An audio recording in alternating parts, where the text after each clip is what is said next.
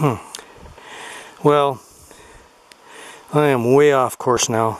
Just in that short distance, you can see from the red arrow, I'm heading right at that high ridge now. And I can see it here. You can see it here yourself. There it is. I should be going, there's the sun, that's south. I should be going way over to the left here. But uh, that's not the way it worked out. Um, I don't know. It's just so difficult because everything is in your way. You can't keep going straight. So the only, my only choice now is to go back. Well, uh, I'm in a, a, bit of a swamp here now, so it's not uh, really wet, but it feels like it. some of these swamps, you know, they grow um, moss over top of them, you know, and it's like walking on the ice in, in the wintertime. Like you can break through and underneath there's deep water.